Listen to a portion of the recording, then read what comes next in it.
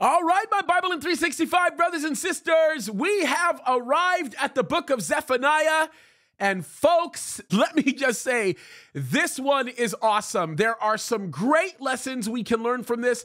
Zephaniah is one of many who are called the minor prophets, but folks, there is nothing minor about what they do. Remember, they're called the minor prophets because of the length of their writings, but in reality, the message that they communicate is absolutely major. Now, I want to say this because Zephaniah gives us three primary lessons, and these lessons are really, really important. By the way, if you want to get into a history of the book of Zephaniah, you can go through my online teaching of Zephaniah, where I teach through it very thoroughly. I spend a good amount of time with it. You can go to our website and grab that, or you can watch us on YouTube. We have those Bible studies there. And as well, I have a summary that I did on the book of Zephaniah that specifically summarizes all of uh, this writing that I did for Bible in 365 last year. There is an older generation of this.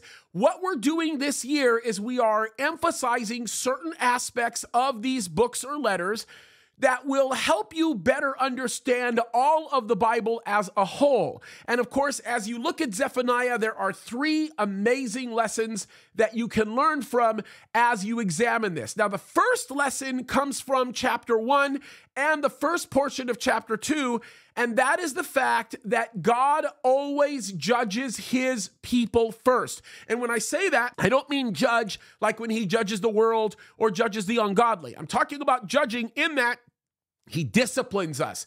He deals with us first because we are his children. This is his house. And we always, when we look at a nation, we should always be looking at what the Christians are doing in that nation.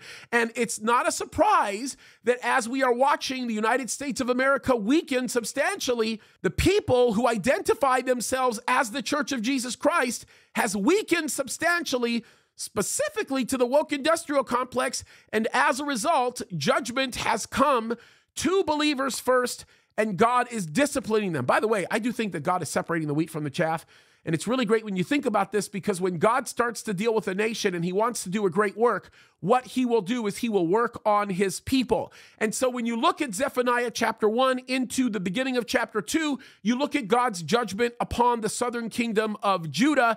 And he speaks about this. And again, this is God, in essence, declaring his disciplinary action upon his people. And it always starts there first. Then the second thing that we oftentimes see is that God declares his judgment upon the nations. So those who actually attack his people will then be judged. And then what happens, and we see this when we get into the end of chapter three, is we begin to see God restoring his people, right? God always brings salvation to his people, and there is great encouragement in that. And so when you look at the book of Zephaniah, you see some pretty amazing and very powerful declarations all of which are designed to get you excited not only about the fact that God is pure and God is just and God is righteous and he acts upon his very word because he cannot contradict his own word.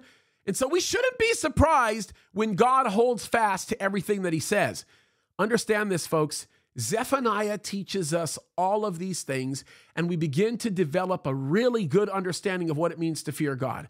This is powerful stuff. I hope you guys will be blessed as you explore this book and make no mistake, just because it's short does not mean it isn't powerful. So it's going to be a good one. All right. By the way, I do want to say this. We are ending the month of September, and you guys are amazing. I cannot believe that we are at the end of the year.